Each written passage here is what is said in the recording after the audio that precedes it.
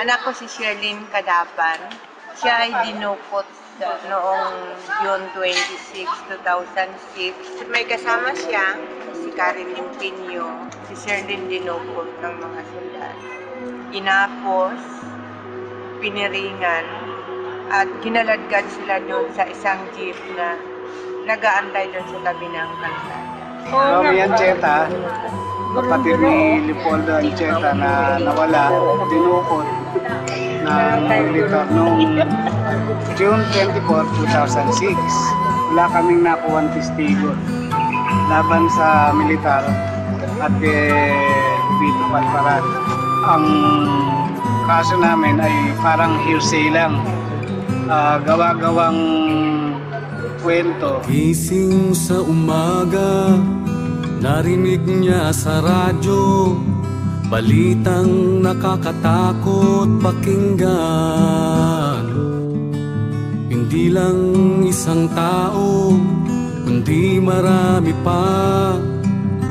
Ang magkakasamang pinaslang Kulay dugo ang kulay ng bawat pahayagan.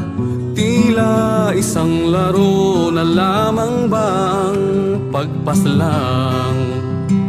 O kay raming buhay na ang nasayang Sa walang tigil na pagyurak sa pantaong karapatan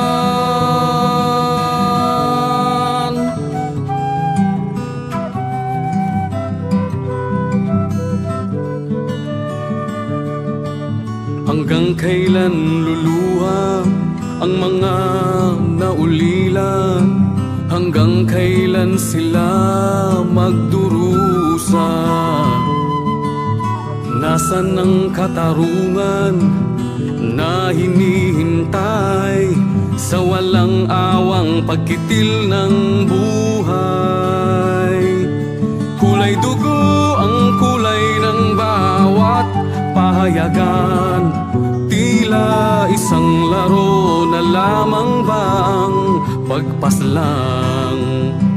O kay raming buhay na ang nasayang Sa walang tigil na pagyurak sa pantaong karapatan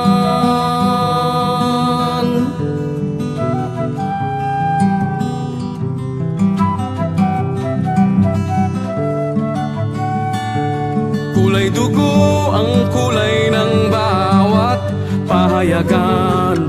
At tila isang laro na lamang bang pagpaslang. O kay raming buhay na ang nasayang Sa walang tigil na pagyurak sa pantaong karapatan